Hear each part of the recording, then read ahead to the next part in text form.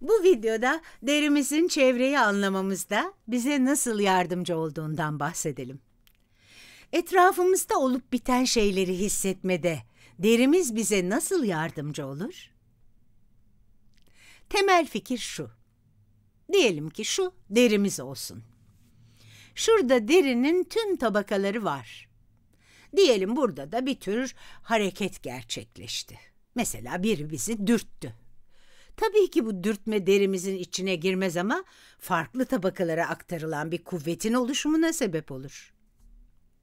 Peki o zaman ne olacak? Şurada bulunan bir mekanoreseptör bu kuvveti algılayacak ve eylem potansiyeli yani daha sonradan bir nörona ileteceği bir sinyal üretecek. Bu sinyali şurada duran sinir lifine iletecek. O da mesajı merkezi sinir sistemimize aktaracak. İşte mekanoreseptörler temelde böyle işliyor. Yazalım. Sinir lifi demişken altını çizmem gereken bir şey var. Bunlara afferent sinir lifi deniyor. Dikkat ederseniz burada A var. Afferent sinir lifleri dış çevreden bazı uyarıcıları alır ve daha sonra merkezi sinir sistemimize iletilecek olan bir sinyal oluşturur. İşte bu afferent sinir lifinin yaptığı bu. Uyarıcıyı alıyor ve merkezi sinir sistemine bir şeylerin olduğunu söylüyor. Bu da diğer tarafta olan şeylerin tam zıttıdır. Evet, merkezden gelen yani afferent sinir lifi. Dikkat ederseniz burada E var. Bu sefer merkezi sinir sistemi uyarıcılara cevap verecek. Yani bu bir kas lifine giden bir sinir olacak. Sinir diyecek ki burada bizi rahatsız eden bir şeyler var. Hadi buradan elimizi çekelim. İşte afferent sinir lifinin yaptığı şey bu. Fakat bu videoda duyulardan bahsettiğimiz için yalnızca afferent liflere odaklanacağız. İki temel afferent lif vardır. A beta lifleri ve A delta lifleri. A delta lifleri acı ve ısıyı algılamada kullanılırlar. Evet, acı ve ısı. A beta lifleri ise bunun dışında kalan her şeyi algılar. Bu videodaki tüm mekanoreseptörleri için bahsedeceğimiz afferent lifler bunlar. A delta sinir lifinden bahseden ayrı bir video var. Her bir mekanoreseptörün işlediği mekanizma ve bu reseptörlerin yapıları çok önemlidir.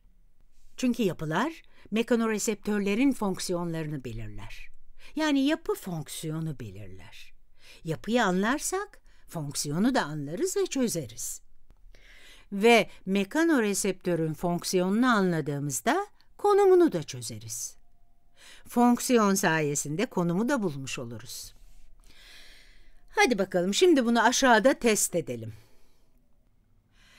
Bahsedeceğimiz ilk mekanoreseptör Meissner cisimciği.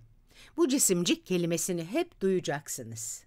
Şimdi bir şeyin derimizi rahatsız ettiğini veya derimize kuvvet uyguladığını düşünelim. Bu bir parmak veya başka bir şey olabilir. Deride derinlere doğru bir kuvvet uygulandığını düşünelim. İşte mikroskop altında şu şekilde görünen Meissner cisimciği.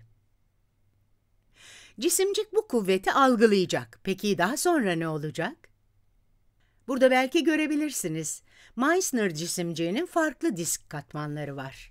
Hatta şurada çekirdekler de var. İşte bir çekirdek. Diğeri, şurada da bir tane var. Birçok çekirdek var ve hepsi bu hücrelerin içinde. Hemen bir tane disk çiziyorum. Diğeri de şurada. Hatta şurada da olsun. Şunun üstüne yığılmış başka bir tane daha çiziyorum. Diyelim ki bu kuvvet derinlere, tam buraya kadar indi ve disklerden birini dürttü. Bu diske epitel veya laminer disk de deniyor. Bunlar özel epitel hücreleri. Dış ortamdan gelen bu ilk dürtme yani uyarıcımız epitel diskin şuraya kaymasına sebep olacak. Diğer epitel diskin bulunduğu yerden uzağa doğru kayacak. Buradaki disk sabit kalmaya devam edecek. Merkezi göstermek için noktalar çiziyorum. Bunlar hareket etmeyecek ama bu şu yöne hareket edecek.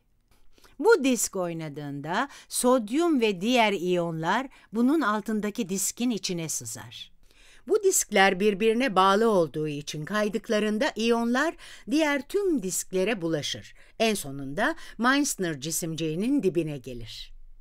Bu kısımda ise afferent sinir lifi bulunur. Bildiğiniz gibi eğer bu sinir içinde iyon varsa eylem potansiyeline sebep olur.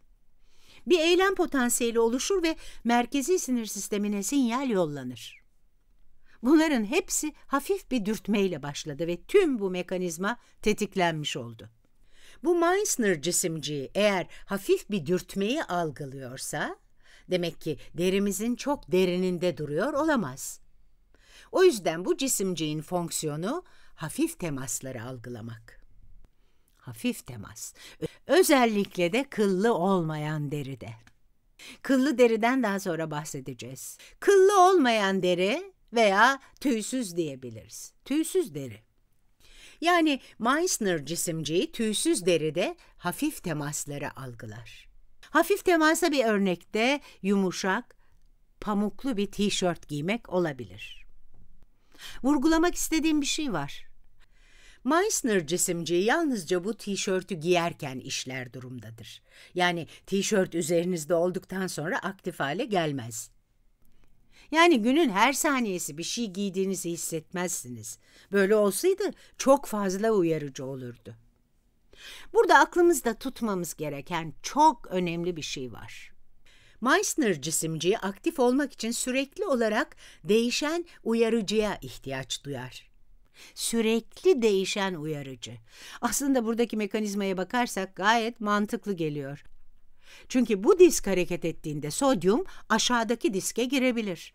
Disk hareket ettiğinde ve şuraya bitişik durduğunda sodyum giremeyecek.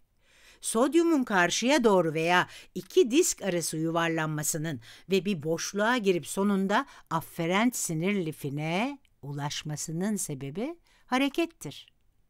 Evet, harekettir. Bunu sakın unutmayın. Buradaki kriterlerin aynına sahip iki farklı mekanoreseptörden bahsedeceğiz. Ve bir dürtmenin başlattığı bu olayları ve algıladığımız hafif teması tartışmaya devam edeceğiz. Konumu derimizde çok çok derinlerde olamaz. Meissner cisimciğinin papiler dermiste olduğundan eminiz. Papiler dermis, epidermisin hemen altında bulunan dermisin en üst katmanı.